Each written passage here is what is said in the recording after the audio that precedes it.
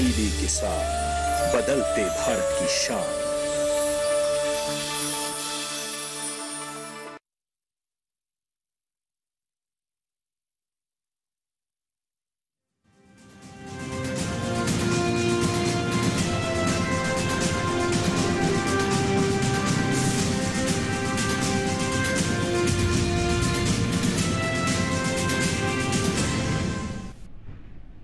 नमस्कार, किसान समाचार में आपका स्वागत है। मैं हूँ रेशमा आपके साथ। नज़र डालते हैं इस वक्त की हेडलाइंस पर। एमएसपी पर संयुक्त किसान मोर्चा की तरफ़ से नाम न दिए जाने के लंबे इंतज़ार के बाद केंद्र सरकार ने गठित की समिति। पूर्व कृषि सचिव संजय अग्रवाल की अध्यक्षता वाली समिति में 16 लोगों के नाम शामिल। केंद्रीय कृषि मंत्री नरेंद्र सिंह तोमर ने कहा एमएसपी की और अधिक प्रभावी बनाने की कोशिश।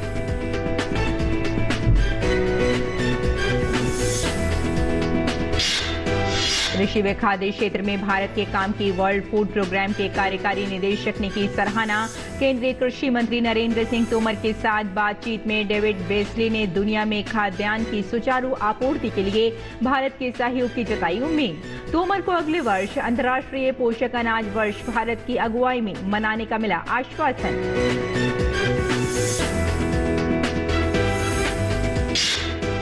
उत्तर प्रदेश के मिर्जापुर में करीब 80 लाख की लागत से बनाया गया मिनी सेंटर ऑफ़ एक्सीलेंस उद्यान विभाग द्वारा संचालित इसराइल की कृषि तकनीक के आधार पर बनाई गई है नर्सरी। सेंटर में आधुनिक तरीके से रोग मुक्त पौधे किए जा रहे हैं, तैयार। शिमला मिर्च मिर्च, करेला, गोभी, टमाटर और पपीते के पौधे हो रहे हैं, तैयार।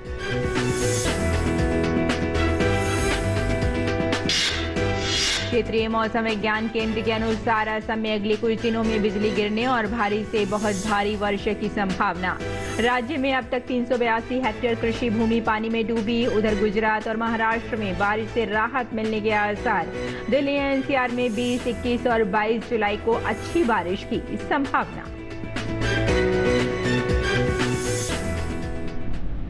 और अब समाचार विस्तार से। किसान आंदोलन खत्म होने के बाद सरकार ने संयुक्त किसान मोर्चा से एमएसपी के लिए गठित होने वाली कमेटी के लिए तीन नाम मांगे थे। लंबे इंतज़ार के बाद जब नाम नहीं आया तो सरकार ने विशेषज्ञों की समिति गठित कर दी है।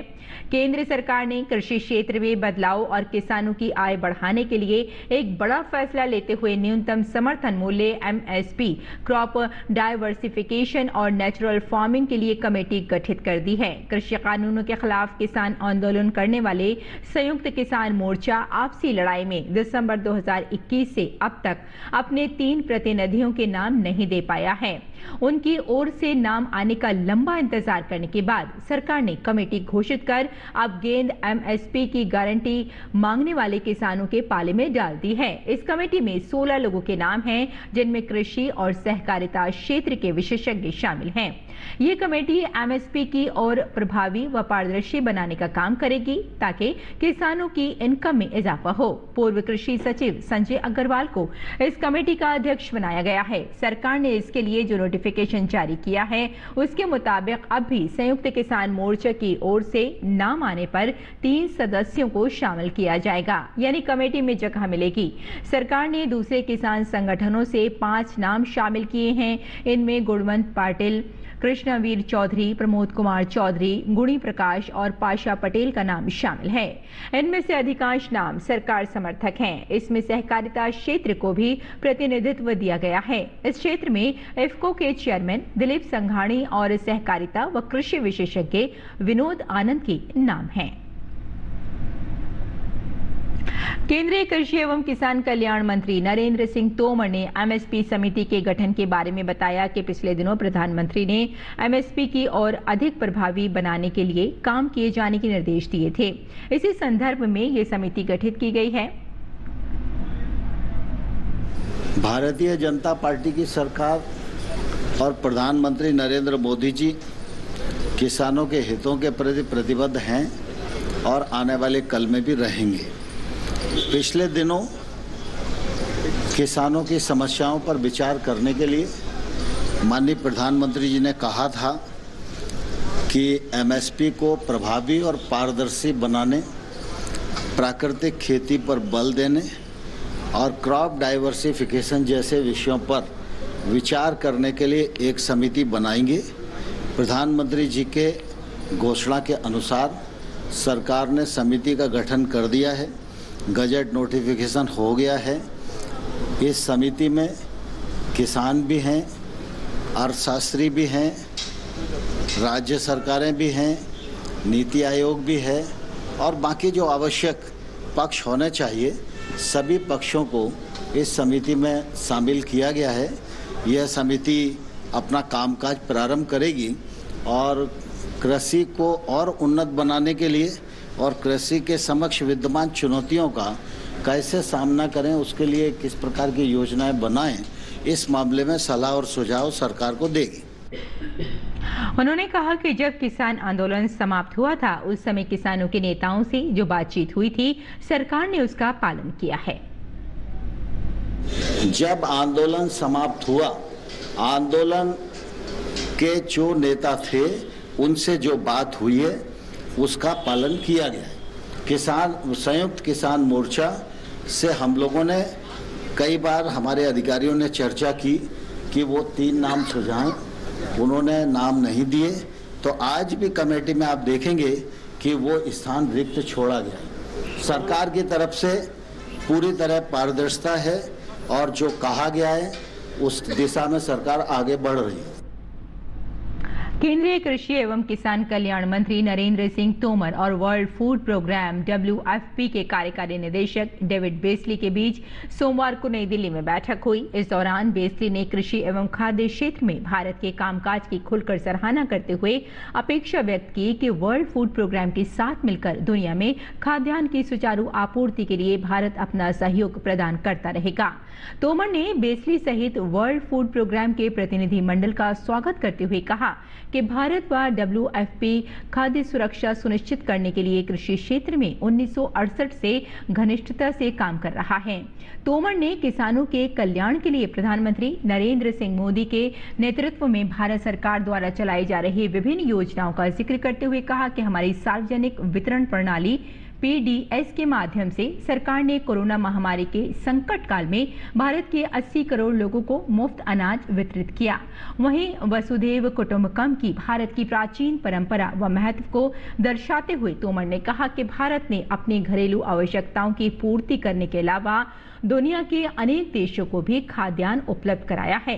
बेसली ने कृषि क्षेत्र के विकास व खाद्य सुरक्षा पर डब्ल्यू व भारत के काम पर संतोष व्यक्त किया। साथ ही भारत की प्रगति के लिए सराहना करते हुए कहा कि वे यूएस कांग्रेस की आगामी बैठक में कृषि क्षेत्र में भारतीय प्रयासों के बारे में बताएँगे। तोमर द्वारा ये बताने पर कि अगले वर्ष अंतर्राष्ट्रीय पोषक अनाज वर्ष भारत की अगुवाई में मनाया जाएगा। बेसली ने इस संबंध में डब्ल्यूएफपी की ओर से पूर्ण सहयोग का आश्वासन दिया। और मध्य प्रदेश सरकार ने कृषि मंत्री कमल पटेल ने कहा कि किसानों की फ़सलों को प्राकृतिक आपदा के कारण क्षति होती है तो केंद्र और राज्य सरकार उसकी भरपाई करेगी। उन्होंने कहा कि डिफॉल्टर, ऋणी और वन ग्रामों के छोटे किसानों से मेरा आग्रह है कि वे इस योजना का लाभ ज़रूर उठाएँ। अगर उनकी फ़सल खराब हो जाए तो उसकी क्षति पूर्ति की जा सके। कम प्रीमियम जमा कर इस योजना से जुड़े बाकी का प्रीमियम केंद्र और राज्य सरकार भरेगी। मंत्री पटेल ने कहा कि बावन जिलों में बावन किसान रथ रवाना किए गए हैं, जो प्रदेश की तेईस हज़ार ग्राम पंचायतों में जाएँगे, जहाँ संगोष्ठी के साथ किसान चौपाल लगाकर फ़सल बीमा योजना के लाभ और उसकी प्रक्रिया को समझाएँगे। डिफॉल्टर ऋणी के साथ वन ग्रामों के छोटे किसानों को राजस्व ग्रामों से जोड़कर पहली बार बीमा कराया जा रहा है। और doctor Shyama Prasad Mukherjee rurban mission के तहत उत्तर प्रदेश मिर्जापुर के पठेरा कला गाँव में करीब 80 लाख की लागत से मिनी सेंटर ऑफ़ एक्सीलेंस बनाया गया है। उद्यान विभाग के द्वारा संचालित इसराइल की कृषि तकनीक के आधार पर नर्सरी बनाई गई है। इस सेंटर में किसानों को आधुनिक तरीके से तैयार रोग मुक्त पौधे मात्र एक रुपए प्रति पौधे के मूल्य पर दिए जा रहे हैं। उद्यान अधिकारी मेवाराम का कहना है कि उद्यान में हाईटेक तकनीक से स्वस्थ और रोग रहित पौध तैयार की जा रही है। इस वर्ष अब तक 17 किसानों को करीब दो लाख पौधे दिए गए हैं। नर्सरी में शिमला मिर्च मिर्च, करेला, गोभी, टमाटर और पपीते के पौधे तैयार किए जा रहे हैं। ये पौधे उचित देखभाल करने पर मरते नहीं हैं और उत्पादन भी सवा गुना अधिक होता है। कृषक भाई परंपरागत तरीके से सीड का डालते हैं। पौध का उत्पादन करते हैं, जो कि बहुत ही उसमें नुकसान होता है। और जैसे टेम्परेचर बढ़ा या हवा चली या बारिश हुआ तो पौधे गल जाते हैं। तो फिर उनकी नर्सरी तैयार नहीं हो पाती समय से।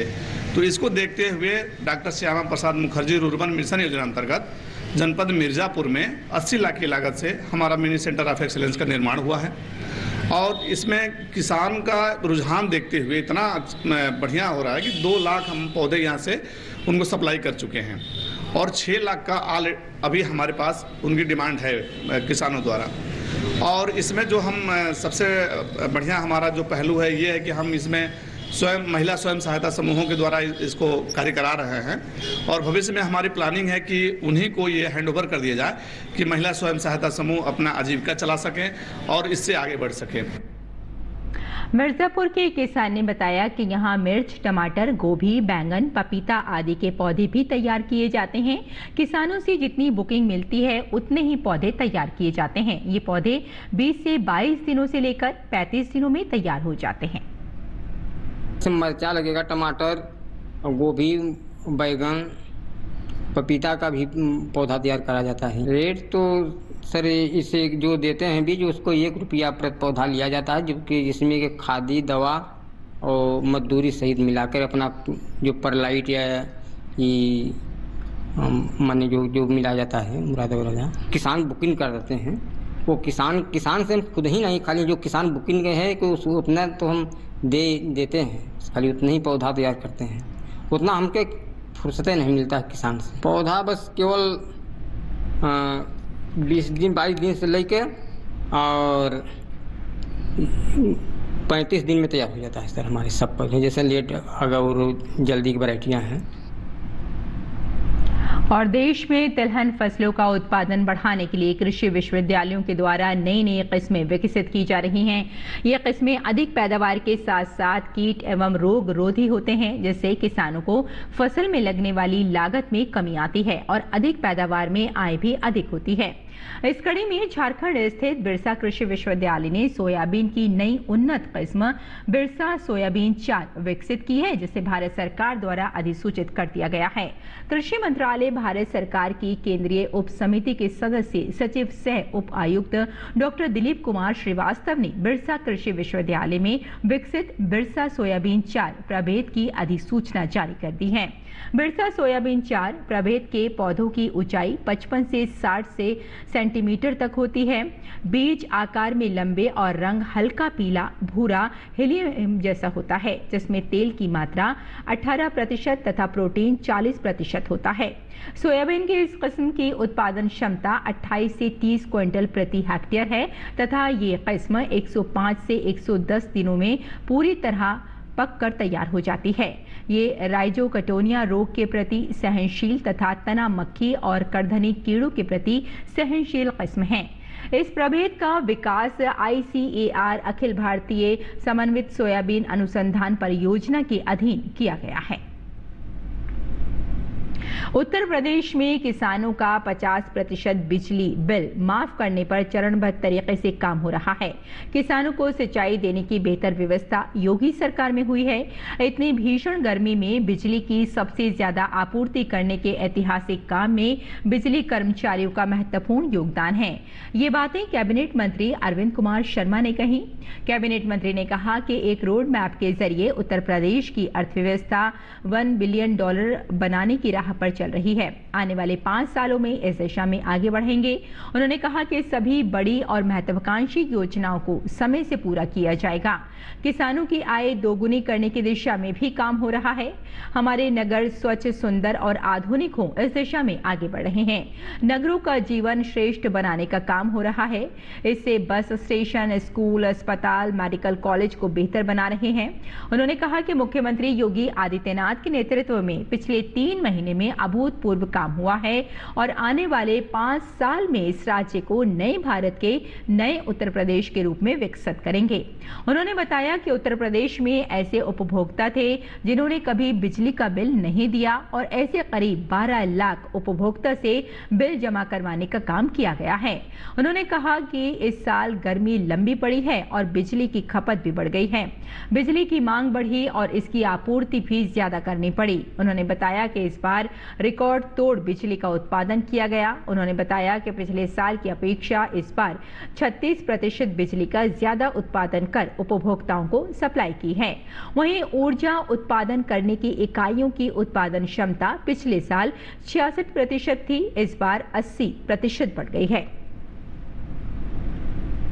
उत्तर प्रदेश के हमीरपुर ज़िले में यमुना नदी का जलस्तर बढ़ते ही जिला प्रशासन ने बाढ़ से निपटने की तैयारियाँ शुरू कर दी हैं। पिछले वर्ष यमुना और बेतवा दोनों नदियों ने जमकर कहर बरपाया था, जिसमें मुख्यालय की निचली बस्तियों सहित सैकड़ों गाँव पानी में डूब गए थे। बाढ़ की गंभीर स्थिति से बचने के लिए मोधा बाँध द्वारा नदियों के किनारे किनारे पीचेन का निर्माण भी कराया जा रहा है, जिससे नदियों के किनारे बसे गाँवों को काटने से रोका जा सके तथा बाढ़ बचाव की तैयारियों के साथ साथ बाढ़ से बचाव के उपकरण भी तैयार किए गए हैं। और ऐसा में पूर्वी जिलों समेत कुछ स्थानों में रविवार शाम से मध्यम से भारी वर्षा दर्ज की गई है। हालाँकि बाढ़ की स्थिति में और सुधार हुआ है, क्योंकि बाढ़ प्रभावित आबादी की संख्या सोमवार को घटकर अट्ठावन हज़ार हो गई। वहीं विश्वनाथ, कछार, डिब्रूगढ़, दीमा हसाऊ मोरीगांव और तामुलपुर अभी भी बाढ़ से प्रभावित हैं। साथ ही तीन सौ बयासी हेक्टेयर कृषि भूमि भी पानी में डूबी हुई है। गुवाहाटी के क्षेत्रीय मौसम विज्ञान केंद्र ने राज्य में अगले कुछ दिनों में बिजली गिरने और भारी से बहुत भारी वर्षा की भविष्यवाणी की है।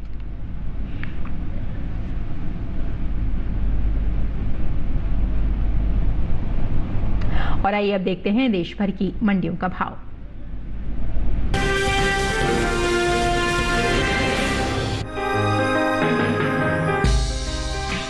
कृषि उपज मंडियों में इन दिनों टमाटर की आवक सामान्य बनी हुई है। सोमवार को अधिकांश मंडियों में टमाटर बिकवाली के लिए पहुँचा। वही बात इसके भाव की करें तो 18 जुलाई को ज़्यादातर मंडियों में टमाटर के सौदे नरमे के साथ हुए। हालाँकि कुछ मंडियों में इस दौरान टमाटर के भाव में कोई बदलाव देखने को नहीं मिला। एगमार्क नेट के मुताबिक, गुजरात की राजकोट मंडी में 16 जुलाई को टमाटर का भाव रहा तीन हज़ार सात सौ पचास रूपए जो कि 18 जुलाई को पाँच सौ रूपए टूट कर तीन हज़ार दो सौ पचास रूपए प्रति क्विंटल हो गया। वहीं हिमाचल प्रदेश की पालमपुर मंडी में 16 जुलाई को टमाटर का भाव रहा एक हज़ार पाँच सौ रूपए जो कि 18 जुलाई को पचास रूपए लुढ़क कर एक हज़ार चार सौ पचास रूपए प्रति क्विंटल हो गया। राजस्थान की बात करें तो यहाँ की गोलू वाला मंडी में भी इस दौरान गिरावट का सिलसिला जारी रहा। यहाँ 18 जुलाई को टमाटर का भाव पाँच सौ रूपए गिर कर दो हज़ार पाँच सौ रूपए ऐसी दो हज़ार रूपए पर आ गया। उत्तर प्रदेश की तरफ़ रुख करें तो यहाँ की गाजियाबाद मंडी में इस दौरान टमाटर का कारोबार स्थिर भाव पर हुआ। यहाँ 16 और 18 जुलाई को टमाटर बिना किसी बदलाव के एक हज़ार नौ सौ रूपए पर बिका। इस साल देश में टमाटर की उपज में बढ़त का अनुमान है। बीते साल के मुकाबले इस साल टमाटर की पैदावार में पाँच लाख टन से अधिक की बढ़ोतरी हो सकती है। कृषि मंत्रालय की ओर से बागवानी फ़सलों के लिए जारी तीसरे आंकलन के मुताबिक देश भर में साल 2020-21 के दौरान टमाटर की उपज 2 करोड़ 10 लाख टन के पार जा सकती है, जबकि बीते साल के समान अवधि के दौरान उपज 2 करोड़ 5 लाख 50 हज़ार टन की ही हुई थी। बता दें कि देश से होने वाले सब्जियों की निर्यात में इस साल अप्रैल महीने के दौरान कमी देखने को मिली है। एपीडा की ओर से हाल ही में जारी ताज़ा आंकड़ों के अनुसार साल 2022 में अप्रैल महीने के दौरान देश से कुल सब्जियों के निर्यात में 9,399 टन की कमी आई है। साल 2022 में अप्रैल महीने के दौरान सब्जियों का कुल निर्यात दो लाख पचास हज़ार चार सौ बीस टन का हुआ है जबकि बीते साल इस दौरान निर्यात दो लाख उनसठ हज़ार आठ सौ उन्नीस टन का हुआ था।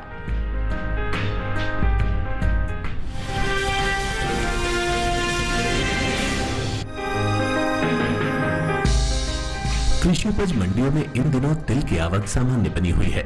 सोमवार को गुजरात की ज़्यादातर मंडियों में तिल बिकवाली के लिए पहुँची। बात इसके हाजिर भाव की करें तो एगमार्क नेट के अनुसार गुजरात की धोराजी मंडी में 16 जुलाई को तिल का भाव रहा, ग्यारह हज़ार छह सौ पाँच रूपए अठारह जुलाई को उसके भाव में दो सौ पिछहत्तर रूपए की तेज़ी आई और भाव ग्यारह हज़ार आठ सौ अस्सी रूपए पर जा पहुँचा।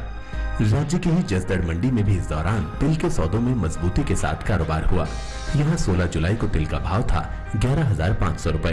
अठारह जुलाई को उसके सौदे दो सौ पचास रूपए की उछाल के बाद ग्यारह हज़ार सात सौ पचास रूपए आरोप हुए। वही धोल मंडी में 18 जुलाई को तिल का भाव रहा ग्यारह हज़ार चार सौ चालीस रूपए। वहीं उत्तर प्रदेश की ललितपुर मंडी में 18 जुलाई को तिल के सौदे नौ हज़ार साठ रूपए पर हुए। वहीं महोबा मंडी में 16 जुलाई को तिल का भाव रहा नौ हज़ार पचास रूपए, जो कि 18 जुलाई को 130 रुपए की बढ़त के बाद नौ हज़ार एक सौ अस्सी रूपए हो गया। इस साल देश में तिल की पैदावार में बढ़त देखने को मिल सकती है। घरेलू स्तर पर खरीफ तिल उपज बीते साल के मुकाबले चालीस हज़ार टन ज़्यादा होने की उम्मीद है, जिसका असर कृषि उपज मंडियों में तिल के बाज़ार भाव पर पड़ता दिख सकता है।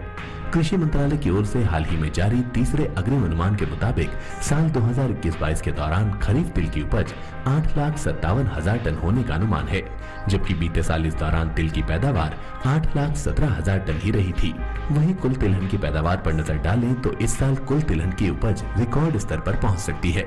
कृषि मंत्रालय की ओर से साल 2021-22 के लिए हाल ही में जारी तीसरे अग्रिम अनुमान के मुताबिक घरेलू स्तर पर कुल तिलहन की पैदावार बीते साल के मुकाबले 25 लाख टन से ज़्यादा होने की उम्मीद है, जिसका असर कृषि उपज मंडियों में तिलहन के बाज़ार भाव पर पड़ता दिख सकता है।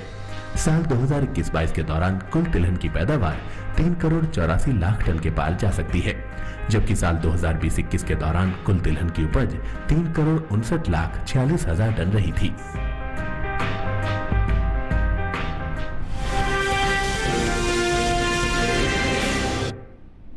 और आइए अब जानते हैं कि इस मौसम में किसान कैसे रखें अपने खेतों का ख्याल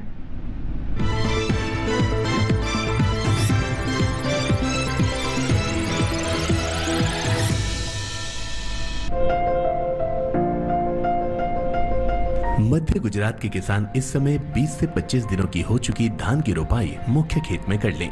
एक जगह पर दो से तीन पौधे लगाएँ।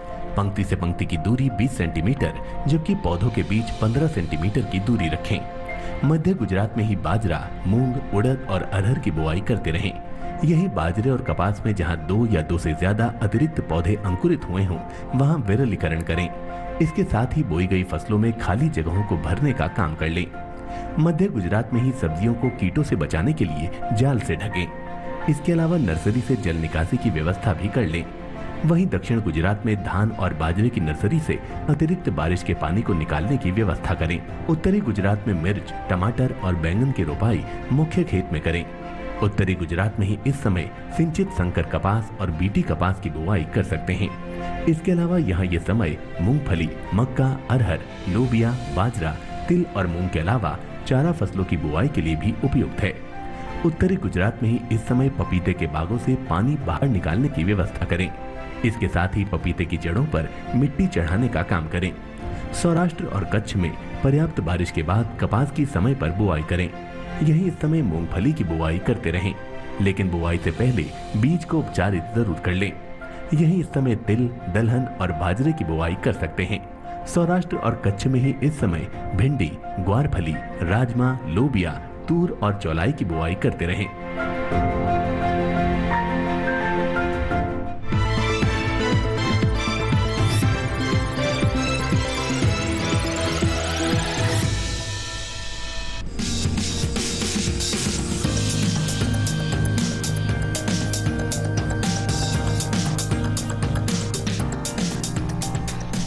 ये समय करेले की बुआई के लिए काफ़ी बेहतर है। करेले की बुआई फरवरी, मार्च और जून, जुलाई में की जाती है।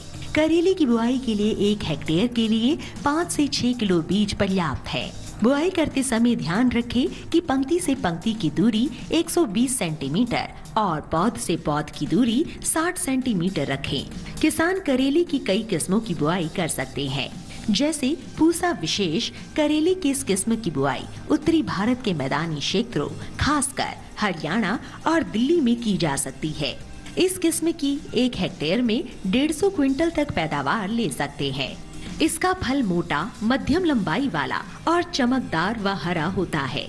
इसके अलावा पूसा औषधि सिलेक्शन एक किस्म भी लगाई जा सकती है। ये किस्म राजस्थान, गुजरात, हरियाणा और दिल्ली में लगाने के लिए उपयुक्त है। एक हेक्टेयर में एक क्विंटल पैदावार ली जा सकती है। इसका फल हल्के हरे रंग का और मध्यम लंबाई वाला होता है। किसान करेले की पूसा हाइब्रिड एक की बुआई भी कर सकते हैं।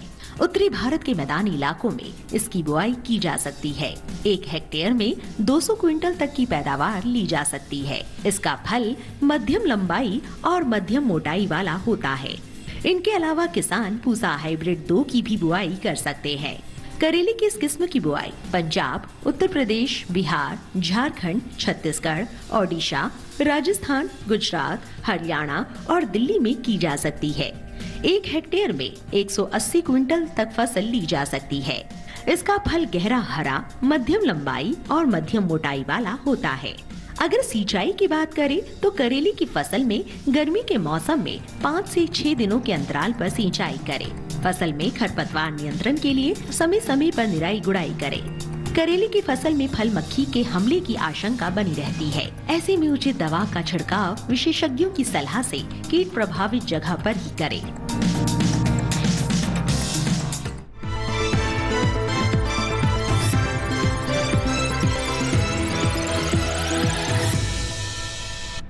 और खेती किसानी के साथ साथ आइए नज़र डाल लेते हैं कुछ और महत्वपूर्ण खबरों पर, खास खबर में। राज्यसभा की कार्यवाही दूसरे दिन भी बाधित हुई। मंगलवार को जब राज्यसभा की कार्यवाही शुरू हुई तो सभापति महोदय ने इस सत्र में सदन में पेश किए जाने वाले विधेयकों के बारे में सदन को बताया। इस बीच विपक्ष के हंगामे की वजह से सदन को बार बार स्थगित करना पड़ा। लोकसभा में भी विपक्षी सदस्यों ने कई मुद्दों को लेकर हंगामा किया और लगातार नारेबाजी की, जिसकी वजह से सदन की कार्यवाही बाधित हुई। इस बीच लोकसभा अध्यक्ष ओम बिरला ने हंगामे और नारेबाजी पर नाराज़गी जताई। शिवसेना के शिंदे गुट और उद्धव गुट की लड़ाई अब लोकसभा अध्यक्ष तक पहुँच गई है। शिंदे गुट द्वारा अपनी कार्यकारिणी के ऐलान के बाद उद्धव गुट की तरफ़ से लोकसभा अध्यक्ष को पत्र भेजा गया है। उपराष्ट्रपति चुनाव के विपक्षी उम्मीदवार मार्गरेट अल्वा ने नई दिल्ली में अपना नामांकन पत्र दाखिल किया। उपराष्ट्रपति पद के लिए 6 अगस्त को चुनाव होना है। मौजूदा उपराष्ट्रपति एम वेंकैया नायडू का कार्यकाल 10 अगस्त को समाप्त होगा। पश्चिम बंगाल के पूर्व राज्यपाल और एनडीए के उपराष्ट्रपति पद के उम्मीदवार जगदीप धनखड़ ने सोमवार को अपनी उम्मीदवारी का पर्चा दाखिल किया। जगदीप धनखड़ ने कई सीटों में नामांकन दाखिल किया। पहले सेट में उनके प्रस्तावक प्रधानमंत्री नरेंद्र मोदी स्वयं थे।